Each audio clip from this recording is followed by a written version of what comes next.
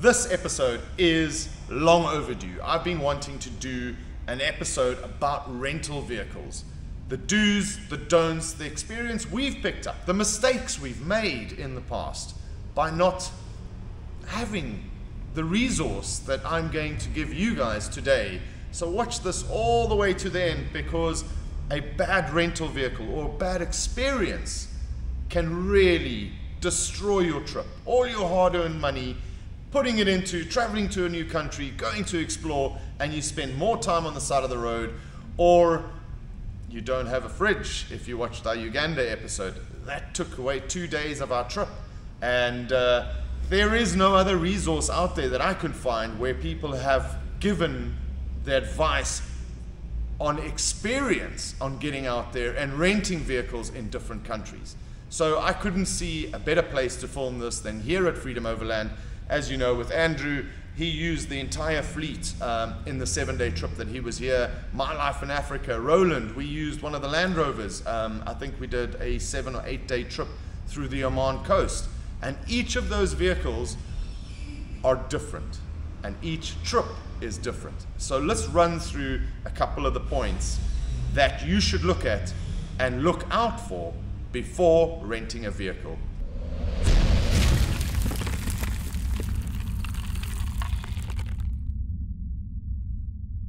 How beautiful is this? This is inside the 79 series. These guys here at Freedom Overland do an absolutely gorgeous, gorgeous finish.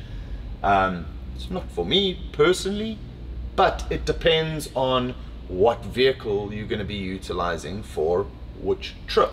So there we go. Geordie, please put this over here. We're going to run through, we're going to run through budget. We're going to run through functionality. We're going to run through amenities. We're going to be running through how long are you renting the vehicle? And that goes back to the budget because cost renting a vehicle for two months, it might be cheaper to ship your own vehicle. Service, extremely important. What support are you going to be getting out of that rental company? And lastly, terrain. Um, but I suppose that ties into, we'll put that under where are you going? Right, before we kick this off, what am I basing this on? So we have rented a number of vehicles and if you go back to our shows, I'll put the links in the description over here. The first time we did a rental vehicle was a 79 series. We were traveling from Gauteng in South Africa all the way, it was called Bush to Beach. So through the national parks in South Africa, a couple of private game reserves, all the way to Mozambique, to Inhambane, to the coast, and then followed the coast back down to Maputo and back to South Africa. So we needed a very capable vehicle. The roads in, in Mozambique are, well, it depends on the rain. It could be absolutely horrendous or it could be a normal dirt road corrugation. However, we were three people up, so I needed additional accommodation. We needed bigger size um, fridges. The other vehicles we're basing this on is I did another South Africa trip um, exploring Mpumalanga again in a 79 series a different setup once again because I was traveling solo. Um, we did a trip I did another solo trip in a Defender 110 in the Pilanesberg, only going to a game reserve and filming, filming in a game reserve. Pretty uncomfortable talking to you like this so uh, that's better. I feel a lot more comfortable right now.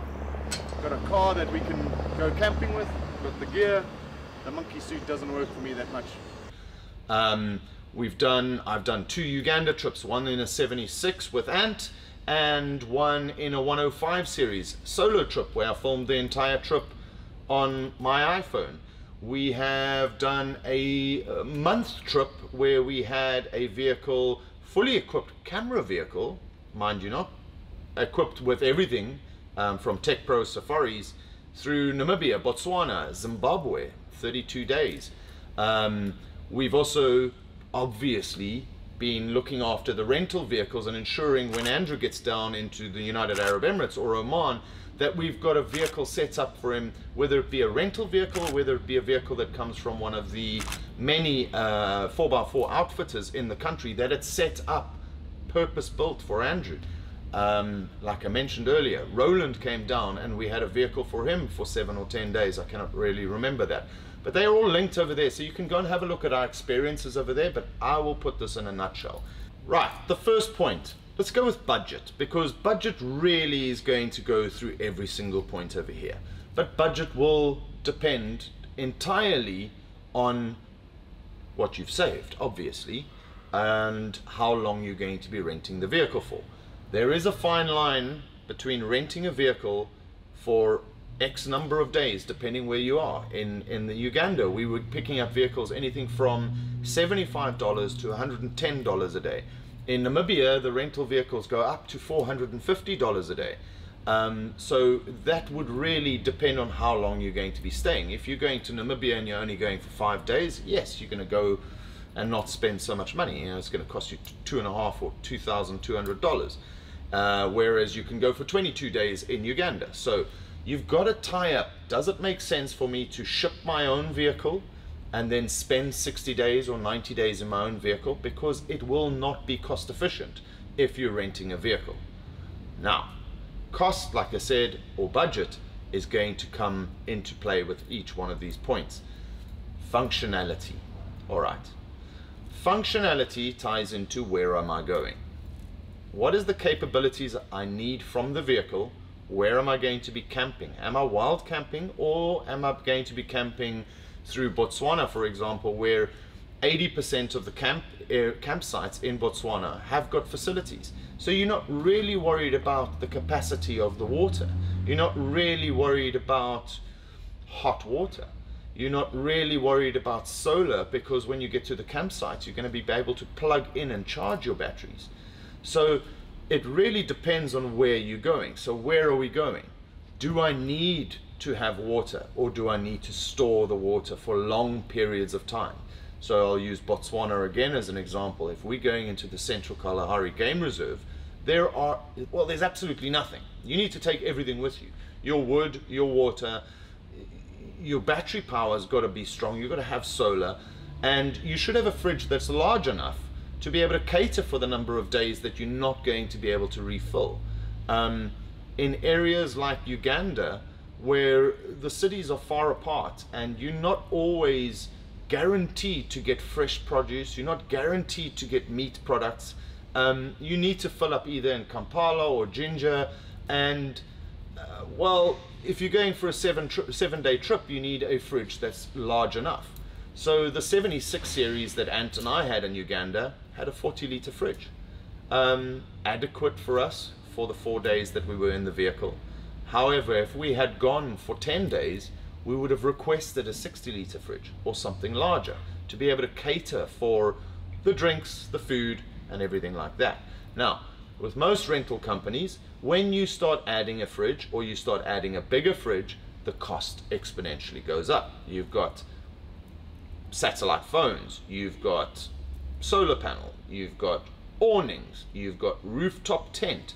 So a lot of the sites that you go to, you'll see um, a rental vehicle, 4x4 rental vehicle, starting from $60 a day. However, add the rooftop tent, add the fridge, and quickly you ramp up to $120, $150 a day. So have a look at the company that you're dealing with, have a look at where you're going, and what what are the guys in iOverland saying about where you're going to be camping? What is available? And then make your decision accordingly. Let's talk about support um, it is imperative that when you're dealing with a rental company that you ask them the question what if because these vehicles as most re rental vehicles do get abused and or the person that's utilizing the vehicle doesn't understand what four-wheel drive is doesn't know how to drive off-road and then you have people burning out clutches or not engaging it into the right gear at the right time and the vehicle takes abuse. Now, you might be a top-notch off-roader and you get into a vehicle, off you go, you treat it as if it's your own baby and 400 kilometers into the track, the clutch goes. What is the rental company going to do to assist you? Where do they have their points of call? Now, I'll use Tech Pro Safaris for an example over here. Tech Pro Safaris have offices all over the Southern African region. So we had a battery issue when we got into Botswana. very simple. Go into Maun, and we had a new battery, and they even refilled our gas for us. But we had the peace of mind that between from Namibia into Botswana, into South Africa, into Zimbabwe, there are people that are part of the organization that are there to assist if anything goes wrong. God forbid if you have an accident with a vehicle, how long will it take them to bring you a replacement vehicle? These are the questions you need to ask. Tires. Are there sufficient tires on the vehicle? If there's only one spare and you're going into uh, off the beaten track, completely off the beaten track, chances of you losing tires are pretty damn good. Um, uh, we've got a friend of ours that used one of the Tech Pro Safari vehicles, got into the Moremi, and he lost two vehicles in one river crossing. Now, I know that he's a capable off-roader. Wasn't his fault. But now he's down to no spare tires. In the middle of the Moremi, in the Delta, what do you do? There's no coverage. Did he take a satellite phone? Did he ask, opt for an additional satellite phone? Or how do you get hold of the support company?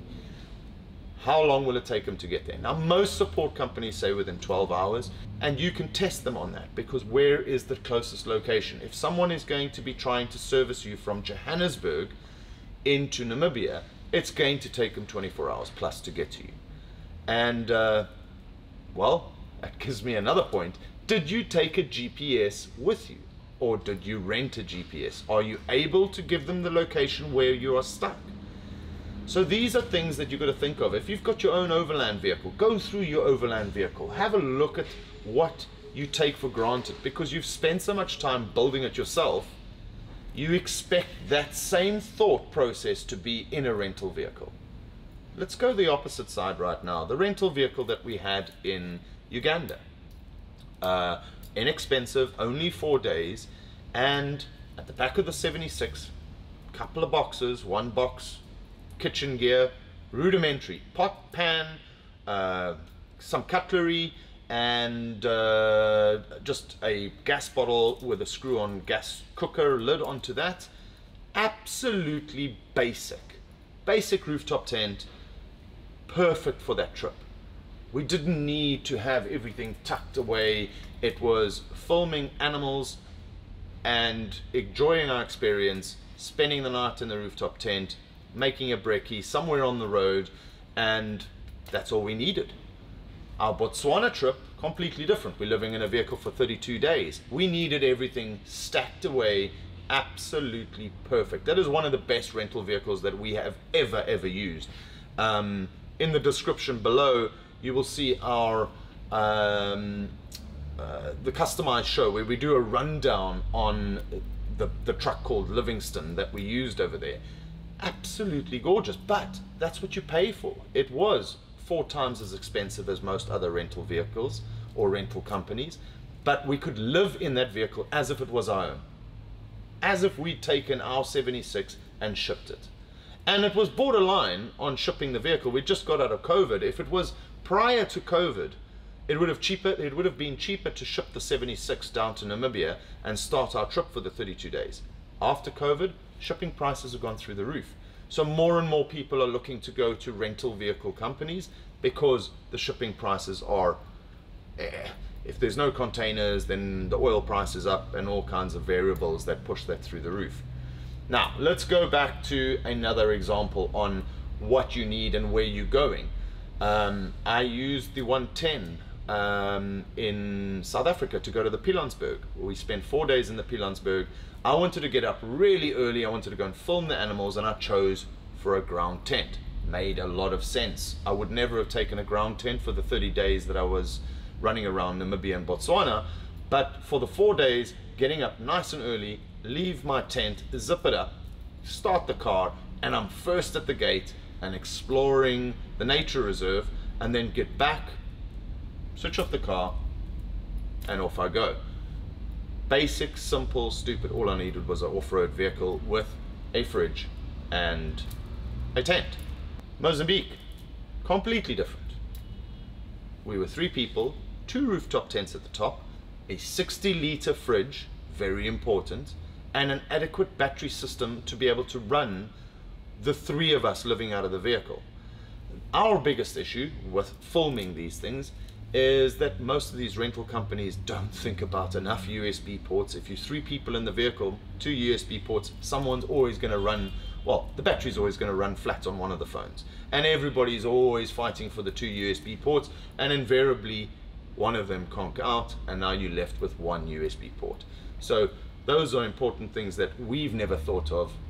Right, so amenities, the last point. And I've touched on this already look at this vehicle, got an aircon. Well, if you're coming down to the United Arab Emirates and you're going to be arriving in July, August, September, or any time between between March and November, and you're going to be trying to camp over here, this is probably the most important kit that you need is an aircon. So uh, amenities, what is it that you need? We're filming, so for us power is very important. Um, if you're a family, you're going to need additional water. So have a look at the amenities available in the vehicle and what they can offer you on top of that. And ask them that you need something special. They might assist you. Most of them will. It obviously comes at an additional cost. But I think if what it all boils down to, that every place that you're going to be going to, that you're going to be touring, will require different setup of the vehicle. So you cannot go and cookie cut these vehicles and expect them all to work in all different terrains. Um, I see a lot of the vehicles in Southern Africa that are through likes of Avis and, and these big rental companies, and they're all cookie cut. And um, the suspension on those vehicles, we traveling through Namibia and Botswana, and you see these Toyota Hiluxes with a stock standard suspension. No wonder the people are rolling these vehicles because on a corrugated road for two hours, at 60 k's per hour with that shock absorber going up and down, up and down, they overheat and become like nothing. The first bend that you get to, you are going to put that vehicle on its lid. Even the vehicle that we utilized that had a good aftermarket suspension, the roads in Botswana, I could feel the vehicle becoming a little bit like a wishy-washy Ford Fairlane where you go over a bounce and bounce and bounce and bounce. And we actually stopped the vehicle, got a hold of Roland, stopped the vehicle, let them let the shocks cool down and then carried on again. Now uh, that is comes with experience but a lot of the people are doing this for the first time as an adventure and you don't know what you're looking for. So does it have aftermarket uh, suspension? Find out. Are the tires good enough? Are they off-road tires? Does the amenity suit the vehicle purpose? Does it have chairs? You can arrive at campsite or you fly in and you don't have a sleeping bag you don't have a pillow that'll spoil your trip. If you don't have a chair, you think about it, ah, I'm going to be around the campfire, I'll be fine, I'll sit on a rock. Try that for 10 days. Not going to be fun, right? So, simple things that you would take a campsite, take a photo of a campsite, just go on a Google and look what people have. They've got a fire, they've got chairs, probably got a drink in their hand, probably got food. Most people need food. And when you go to bed, you know, does it have a mattress. it probably would have, but you know, does it have the, the creature comforts that you need? Um, I'm stating the obvious here, but we have gone out and we have kicked off down the road and, oh, gee, did you see any chairs, Ant? And no. And I quickly make a call, go back, and they've forgotten to put the chairs in, or we didn't specify that we need chairs. So it's it is actually simple, basic, but a lot of people do this for the first time, and more than welcome to comment below.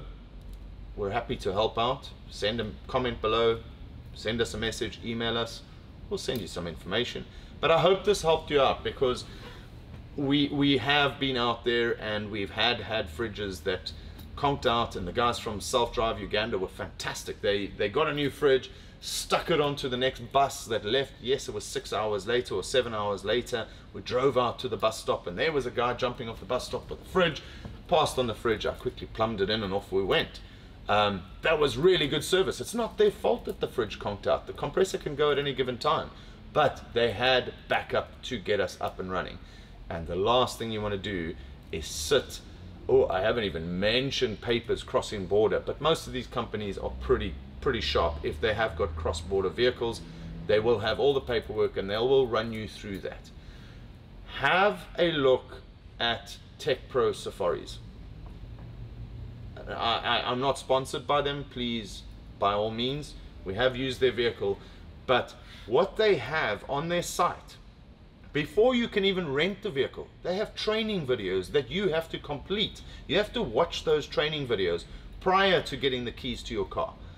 And you will sign off that you have watched the training videos and that you do know how to deflate and inflate tires and that you do know how to drive a vehicle off-road and you do know how to put it in four-wheel drive or when you leave the tarmac that it goes into four high immediately. This is training videos that every rental company should be putting out there because they're invariably putting your lives at risk if you don't know what you're doing and it is the first time that you're going into the bush and you're traveling way too fast and animals come running across the road and you put the vehicle on its lid. So if you're renting a vehicle, if you can't get hold of us, go onto Tech Pro Safari's site, go and have a look at the information that they've got gathered over there and then base your trip on that. But don't let it stop you traveling.